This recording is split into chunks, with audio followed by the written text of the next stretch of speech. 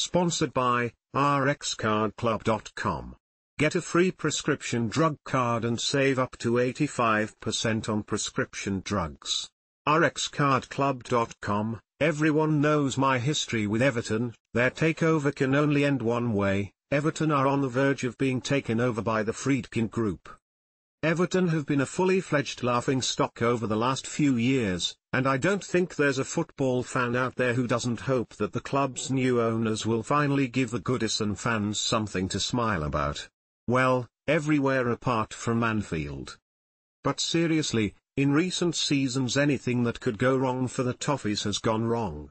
Farhad Moshiri has spent a staggering £750 million trying to awaken a sleeping giant, but he will leave behind a club that appears to be suffering from narcolepsy.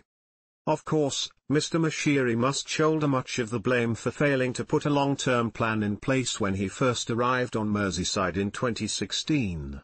Everton have had some top-class managers during that time.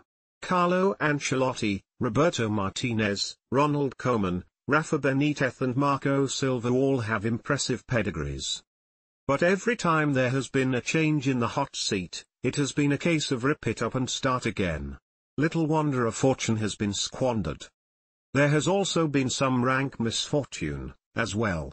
Ancelotti might have built something sustainable had Real Madrid made the Italian an offer he couldn't refuse. Then Russia's invasion of Ukraine led to the government freezing the assets of Alisher Usmanov. And not only had Moshiri lost his richest business partner, but the man who was financially backing the building of a new stadium at Bramley Moore Dock was out of the picture. To add to the madness, Moshiri was unable to spend his way out of the now annual fight against relegation because of the Premier League's new profit and sustainability rules. Let me be clear, I don't see any business sense in not allowing someone who has spent an eye-watering fortune on a club being barred from investing further in the business.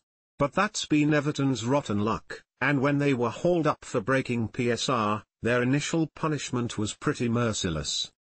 If American tycoon Dan Friedkin passes the fit and proper persons test as expected and seals his takeover at Everton, he will own a club that is once again on the slippery slope towards a fight for Premier League survival. This is Everton's final season at Goodison before they leave the historic old ground for an iconic new home on the Liverpool waterfront. It would be tragic if they made the move as a championship club. Sean Dyche has managed to keep relegation outside the door in extremely testing circumstances. But he will be under even more pressure from day one when the Friedkin Group complete their takeover because going out of the Premier League is not an option for them. It's a fact of football life that new owners don't need much of an excuse to appoint the year own manager, but Sean will be well aware of that reality. It's crazy to think that there are people in their 30s who won't remember the last time Everton won a trophy.